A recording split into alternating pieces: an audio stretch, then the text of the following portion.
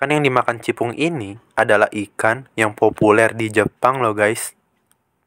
Ikan sisamo atau yang biasa disebut capelin adalah ikan yang lahir di air tawar dan mereka akan bermigrasi ke laut untuk berkembang biak.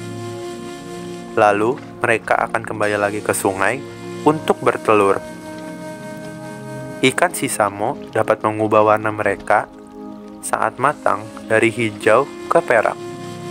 Daging mereka sangat lezat dan kaya akan nutrisi, sehingga mereka jadi favorit di berbagai masakan Jepang.